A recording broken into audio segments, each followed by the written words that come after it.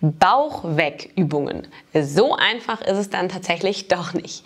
Die Übungen in diesem Video werden deinen Bauch natürlich nicht einfach so verschwinden lassen, aber bei regelmäßiger Durchführung kannst du Muskulatur aufbauen und so deinen Bauch einfach ganz prima definieren und formen. Ich habe für uns drei Übungsblöcke vorbereitet, A5 Übungen. Wir werden jede Übung 40 Sekunden lang ausführen. Zwischen den Übungsblöcken gibt es immer eine 30-sekündige Pause. So, jetzt schnapp dir deine Matte und lass uns starten.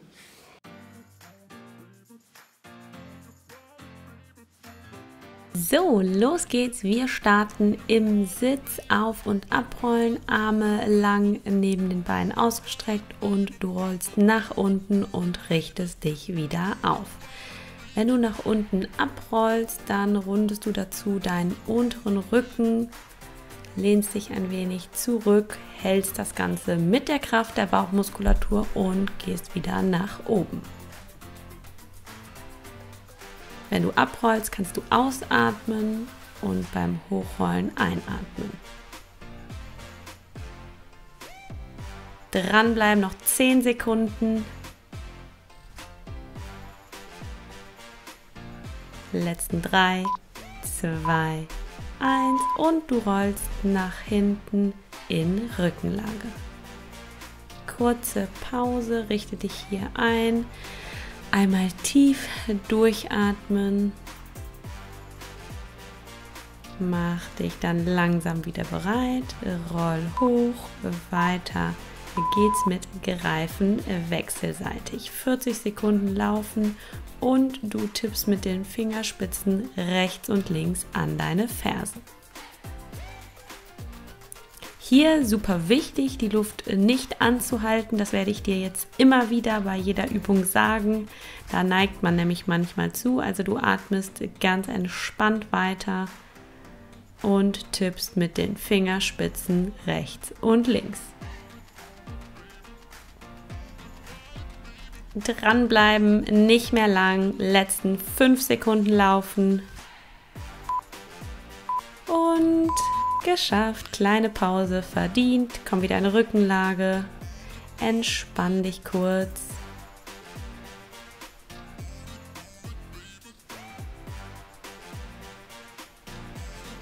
Wir machen in Rückenlage weiter. Ein Bein geht lang raus, das andere umfasst du mit den Händen und im Wechsel ziehst du ein Knie zur Brust, das andere streckst du lang weg.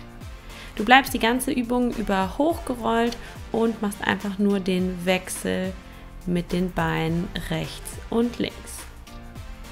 Die Bauchmuskulatur muss hier ganz schön arbeiten. Das ist anstrengend. Für mich war das auch anstrengend, aber ihr haltet durch. Letzten 10 äh, Sekunden ab jetzt. Und dann ist von dem ersten Päckchen schon mehr als die Hälfte geschafft. Sehr gut. Nochmal in Rückenlage kommen, Füße abstellen und einfach kurz entspannt tief durchatmen. Wir machen gleich in Rückenlage weiter.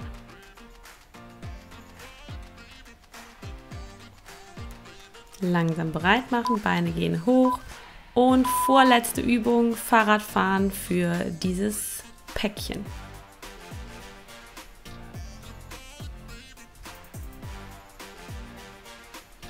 Bei dieser Übung bleibt der Kopf auf der Matte. Das ist dann einfach für den Nacken, für die Nackenmuskulatur ein bisschen entspannter. Da bewegen dann wirklich nur die Beine. Die Arme sind locker rechts und links neben dem Körper auf der Matte abgelegt. Auch hier entspannt weiteratmen in den letzten Sekunden. 5, 4, 3, 2, 1. Füße abstellen. Eine Übung wartet noch auf uns. Dazu rollt ihr nach oben, kommt über den Schneidersitz in den Vierfüßlerstand und richtet euch hier ein. Kommt in die Plank-Position, macht ein Brett und im Wechsel los geht's. Hip, Dips, letzten 40 Sekunden für diese Runde. Danach habt ihr euch eine 30-sekündige Pause verdient.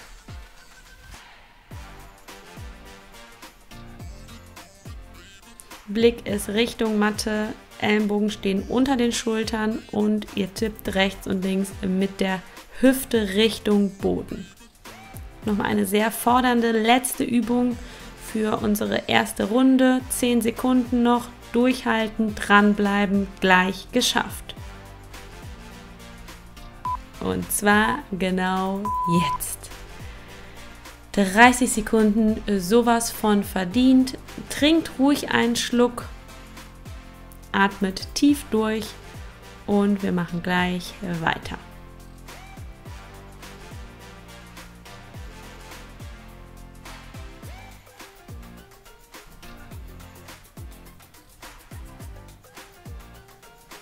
So, langsam wieder bereit machen für unsere zweite Runde, für die nächsten fünf Übungen.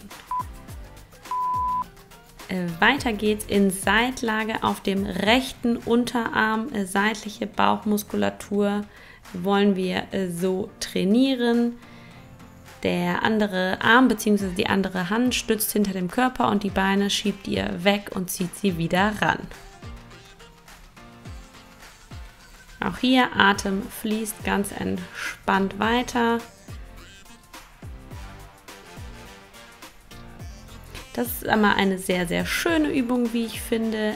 Zwar anstrengend, aber gut machbar, da man sich hier noch schön abstützt mit den Händen und die Beine rausschiebt und wieder ranzieht. Letzten drei, zwei, eins. Die Seite haben wir. Wir machen einen Seitenwechsel und stützen uns jetzt auf den linken Unterarm. Kontrolliert hier mal die Position. Wie stehen Schulter und Ellenbogen zueinander? Im Idealfall sollten die nämlich eine Linie bilden. Der rechte Arm geht jetzt wieder hinter den Körper, stützt da und die Beine schieben wieder raus und ranziehen.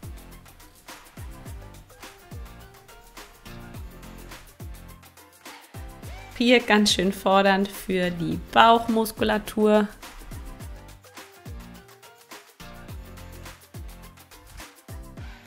Hälfte ist genau jetzt geschafft. Du bleibst dran. Wenn es zu anstrengend ist, dann nimm einfach ein bisschen Geschwindigkeit, ein bisschen Tempo raus, aber hör nicht auf. Versuch dran zu bleiben. Letzten Sekunden gleich geschafft. Super gut. 20 Sekündchen Positionswechsel bzw. Pause. Ihr könnt euch schon mal in Rückenlage begeben.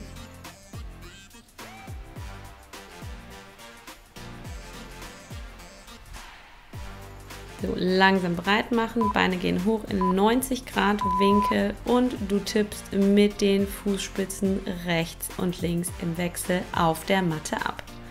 Kopf liegt ab, Hände liegen entspannt neben dem Körper, Bauchmuskulatur ist aktiviert und du tippst im Wechsel rechts und links.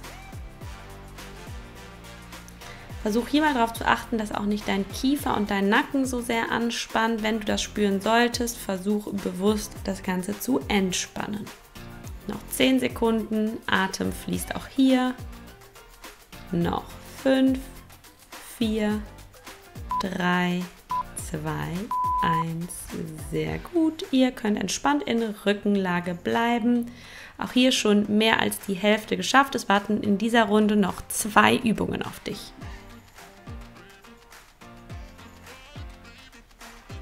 Langsam wieder bereit machen. Beine gehen wieder hoch in den 90 Grad Winkel, Arme lang neben dem Körper. Du rollst hoch und wir pumpen auf und ab mit den Armen neben dem Körper. Du kannst dir hier vorstellen, dass du auf eine Wasseroberfläche schlägst mit der flachen Hand. Auf und ab.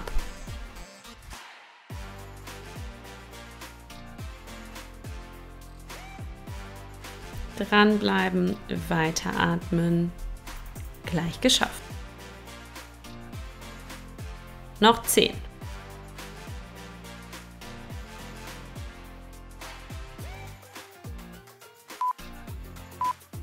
Super gut gemacht. Noch einmal kurz vor der letzten Übung entspannen, roll aber gerne schon mal hoch in den Sitz und komm dann wieder über den Schneidersitz erstmal in den Vierfüßlerstand und dann in den Hochstütz. Letzte Übung, Bergsteiger, los geht's. Du ziehst die Knie kraftvoll, energiegeladen Richtung Brust. Hier entscheidest du, möchtest du noch mal richtig Tempo reinlegen in dieser Übung, in dieser letzten Übung für diese Runde oder machst du das Ganze lieber ein bisschen langsamer? Das ist dir überlassen. Schau, wie viel Energie du noch hast, aber bleib dran, nicht aufhören. Nur noch 10 Sekunden, das schaffst du. Noch 5, 4, 3, 2, 1. Pause, sowas von verdient. Du kannst dich zurückschieben in die Child's Pose oder jede andere Pose einnehmen, die jetzt für dich gut ist und für Entspannung sorgt. Oder du trinkst einen Schluck. Wir machen gleich weiter.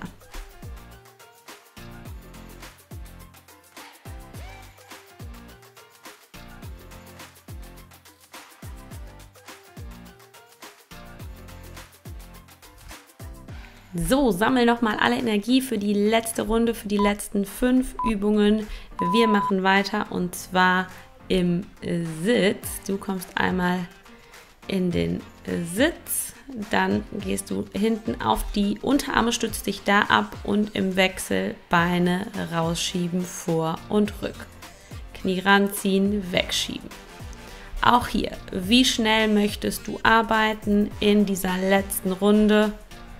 Die letzten fünf Übungen sind angebrochen. Und dranbleiben. Zack. Immer wieder ranziehen das Knie. Weiter atmen. Noch 15 Sekunden.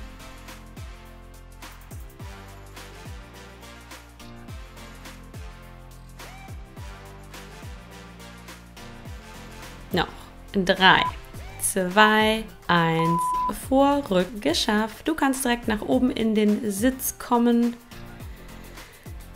Einmal tief durchatmen, einrichten. Wir machen gleich weiter mit Übung Nummer 2 für diese Runde. Und zwar wird das der Russian Twist sein. Du kommst in den Schwebesitz und tippst mit den Händen rechts und links. Wer jetzt nicht mehr kann oder nicht mehr super viel Energie hat, kann auch hier die Füße abstellen und dann weitermachen. Versuch ruhig mal in diesen Schwebesitz zu kommen und die Übung so durchzuführen. Solltest du aber keine Energie mehr haben, können die Füße auch auf der Matte abgestellt sein. Das ist dann einfach ein bisschen einfacher. Da musst du nämlich nicht zusätzlich die Balance halten. Alle anderen machen genau so weiter. Noch 5, 4, 3, 2, 1. Super gut gemacht. Du kannst wieder in die Rückenlage kommen, dich hier einrichten für die dritte Übung.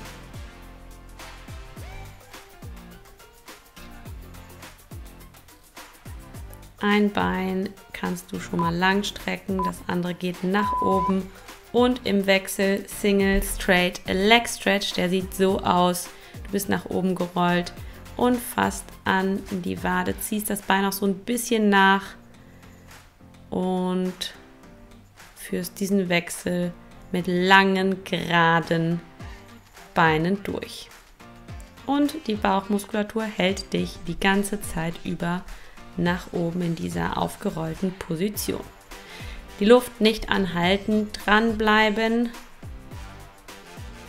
Hiernach warten nur noch zwei Übungen auf dich. Drei, zwei, eins. Geschafft. Huh, sehr, sehr gut. So, roll noch einmal nach oben, auch hier wieder über den Schneidersitz in den Vierfüßlerstand. Richte dich hier ein und es geht weiter mit dem Bärenstand. Du löst die Knie von der Matte und sinkst wieder nach unten ab. Lösen, hochschieben und sinken. Auch hier entscheidest du, wie schnell du das Ganze machen möchtest. Du kannst noch mal ein bisschen Tempo hier reinlegen in die vorletzte Übung oder du machst das ein bisschen entspannter. Auch hier tief ein und ausatmen. Wenn du hochgehst, kannst du ausatmen. Letzten Sekunden.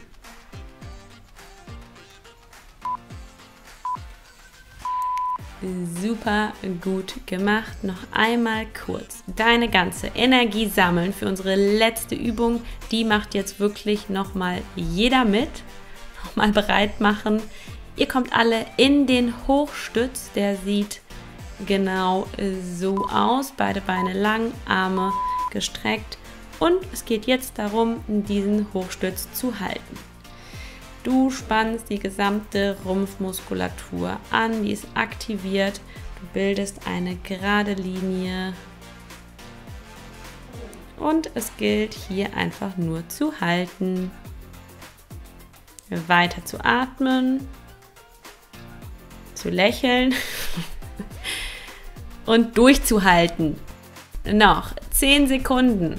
9, 8, 7, 6, 5, 4, letzten 3, 2, 1. Herzlichen Glückwunsch, gut gemacht. 15 Minuten Bauchworkout geschafft. Herzlichen Glückwunsch. Solltest du jetzt so richtig auf den Geschmack gekommen sein und direkt noch ein Workout hinterher schieben wollen, dann schau doch mal hier in diese Playlist rein. Da ist bestimmt noch was für dich dabei. Für jetzt sage ich erstmal Tschüss, verabschiede mich und freue mich schon sehr auf das nächste Training mit dir.